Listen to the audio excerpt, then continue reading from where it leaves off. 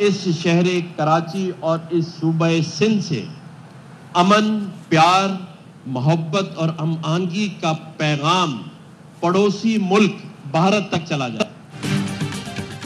Governor house Karachi में doctor Zakir Naik के एजाज में तकरीब। कामरान किशोरी ने खिताब में कहा, आज कराची से अमन, प्यार, मोहब्बत और यकजहती का पैगाम भारत तक जाएगा। पाकिस्तान अमन, मोहब्बत और इस्लाम का नाम बुलंद करने वालों को अपना मेहमान बनाता है। तकरीब में अरकान कौमी और सूबाई असम्बली समेत मुख्तलिफ़ मुल्कों के कौंसल जर्नल शरीक, मजहबी शख्सियात, जामियात और मदारस के मोहतम कारोबारी शख्सियात भी मौजूद।